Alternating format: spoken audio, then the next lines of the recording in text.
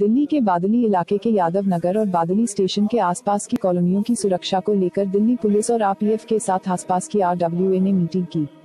इसमें कई संस्थाओं ने भी भाग लिया। सभी का एक ही मकसद था कि दिल्ली पुलिस और आरपीएफ का समन्वय हो और आरडब्ल्यूए भी कानून व्यवस्था में अपना सहयोग करें, जिससे बढ़ते क्राइम को रोका जा सके। रेलवे स्टेशन के आसपास स्नीचिंग जैसी घटना होना, लड़कियों के स्कूल के आसपास कुछ असामाजिक तत्वों का घुमना, इन सभी समस्याओं के निदान के लिए मीटिंग रखी गई थी।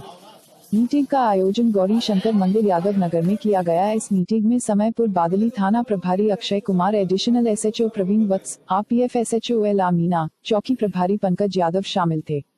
साथ में R W A Yadav Nagar Shivpuri, जनहित प्रयास समिति, युवा एकता मंच व युवा कमेटी, साथ ही यादव नगर के बड़े बुज़ुर्गों ने भाग लिया।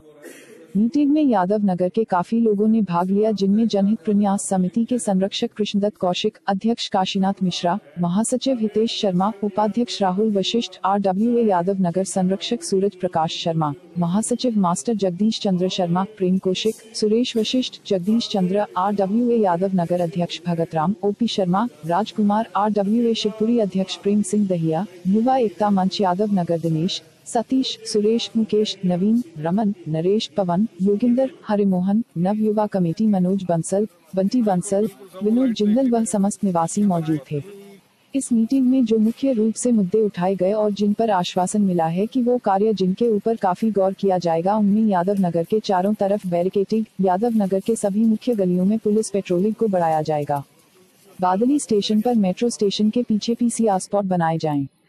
राजकीय कन्या विद्यालय के आसपास पुलिस के जवानों की मुस्तैदी होगी और पुलिस की पेट्रोलिंग भी होगी।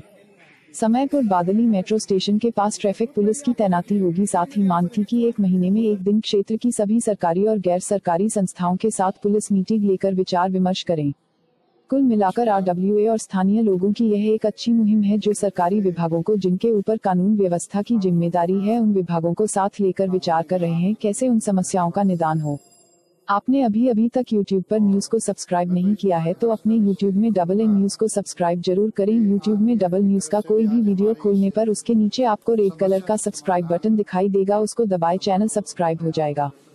उसके पास में आपको एक बेल अर्थात घंटी का आइकॉन दिखाई देगा यदि उसको भी दबाए क्योंकि उससे आपको नोटिफिकेशन भी इस चैनल पर नई वीडियो अपलोड होते ही मिलेगा क्योंकि छोटी छोटी अपने आसपास की समस्याएँ आर डब्ल्यू की कोशिश और कार्यक्रमों की जानकारी के लिए अपने एरिया में क्राइम की सूचना के लिए आप न्यूज़ को यूट्यूब पर भी सब्सक्राइब करें जो बिल्कुल फ्री होता है और हमारी web portal double A news पर विज़िट करें। दिल्ली के हाँ, जी क्या था आज का प्रोग्राम किस तरह की मीटिंग थी और क्या कुछ आपने उनको बयान आज हमने एक छोटा सा प्रयास किया, हम सब साथियों ने मिलके, कि लोकल पुलिस और आरपीएफ का समन्वय हो। दोनों में संयुक्त बैठक हो, क्योंकि हमारे यहाँ अक्सर क्राइम जो है रेलवे स्टेशन और उसके आसपास होता है। और जब क्राइम होता है तो हम जब शिकायत करते हैं तो आरपीएफ कहता है, ये मेरा, उसमें जुडिशरी में नहीं आती और लोकल पुलिस कहती है कि हम इस पर कार्रवाई करेंगे। तो आज हमने कॉलोनी में, यादव नगर में, ई ब्लॉक गौरीशंकर मंदिर में एक बैठक का आयोजन किया। जिसमें हमने अपने बिंदुवार पॉइंट्स रखे। वो चाहे गर्ल्स स्कूल में आने जाने वाली कन्याओं के लिए सुरक्षा हो या कॉलोनी के अंदर हमारे सीसीटीवी और बैरिगेटिंग और आपका बोले तो गश्त जो कि विशेष रहती है पुलिस की गश्त। यदि पुलिस अपनी रेगुलर गश्त करे तो समाधान लगभग हो जाता है। क्राइम पर फोकस मारने के लिए आज ये मीटिंग की है। हाँ क्योंकि आज से दो साल पहले हमने एक बैठक की थी दिल्ली पुलिस के साथ। जिसमें हमने आरपीएफ को इन्वॉल्व नहीं किया था। क्योंकि उस समय हमें मालूम नहीं था कि आरपीएफ को हम कैसे जोड़ें किस तरह जोड़ें।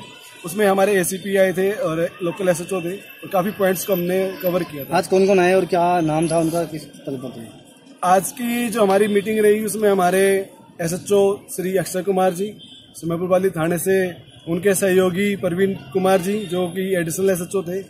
और आरपीएफ से हमारे बीच में श्री एल आर मीणा जी। जो कि किशनगंज थाना प्रभारी है और हमारा क्षेत्र जो है बादली उनके अंडर आता है। उनके सहयोगी पंकज यादव जी जो कि हमारे चौकी इंचार्ज हैं आज वो सब आए और हमारी शिकायतों पर उन्होंने सुना और हमारी आठ बोले के सदस्यों ने भी शिकायतें रखी और उन पर समाधान के लिए उन्होंने अपनी बात रखी। ठीक। आपका नाम? राजकुमार। राजकुमार जी आज क्या कुछ रहा और आपने क्या कहाँ पर इनको विज़िट भी किया जो अधिकारी एक्चुअली मैं आउट ऑफ़ दिल्ली था। मुझे अचानक फ़ोन आया हितेश और राहुल का। ये दोनों लड़के, हमारे याद होने के काफ़ी एक्टिव और सोशल काम इतनी अच्छी तरीके से कर रहे हैं कि इनकी जितनी तारीफ़ की जाए उतना कम। और दोनों डिपार्टमेंट रेलवे और लोकल पुलिस एसएचओ एसीपी दोनों आए क्राइम के विषय में भी बात हुई। लाइटिंग जो हमारे बादली स्टेशन बिल्कुल यहाँ कोई ध्यान नहीं दिया जा रहा था, वो अवगत कराया गया।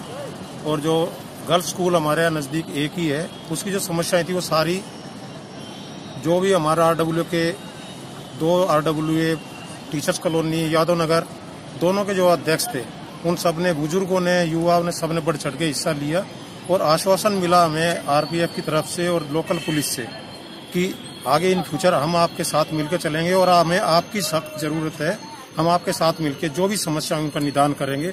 और बहुत अच्छा रहा, मैं एक स्पोर्ट्स पर्सन होने के नाते इनको थैंक्स दूँगा और मैं हमेशा इनके साथ आगे भी रहूँगा। जैसा मेरे पास समय होगा, मैं इनके साथ हूँ, बधाई इनको। बहुत बहुत शुभकामनाएँ दोनों डिपार्टमेंट को और हितेश और राहुल वशिष्ठ को।